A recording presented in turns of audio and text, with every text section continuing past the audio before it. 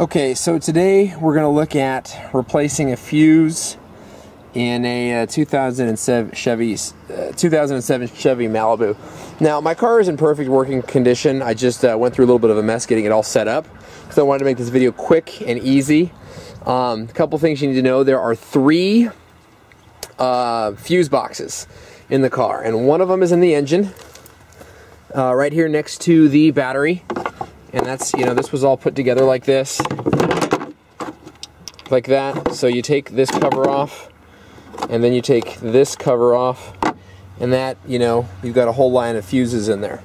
Uh, you've also got fuses in the back area in the trunk. And this again too right back here was covered up had a little box on it. Pulled the box off and there's your fuses right there. And that little 20 fuse it says 20 on it. it. It might be yellow. Maybe it's yellow on all of them. I don't know. That's the fuse you're going to be using. Okay? But to pull it out, we need a fuse puller. So, to get the fuse puller, we go into the instrument panel and you take off the leather uh, or the you take off the vinyl siding here and you reveal uh, these fuse pullers. Now, a lot of this is in your manual.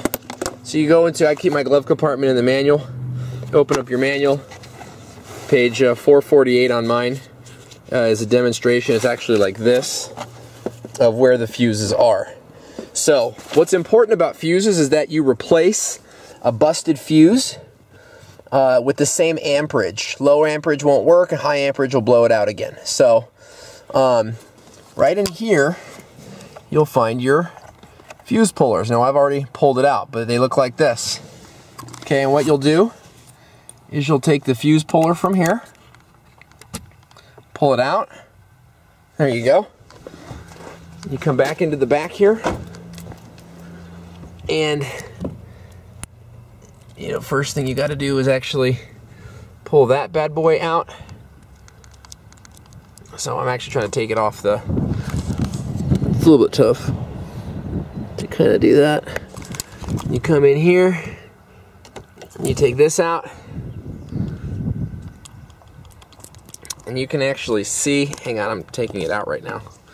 You can actually see, maybe not on this, you see that little black spot in the center, in the shade.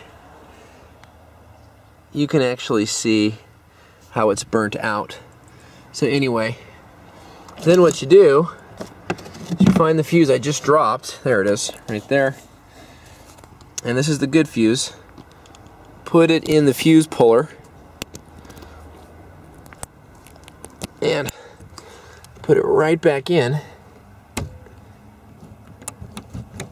And uh, and there you go. And you've replaced the fuse.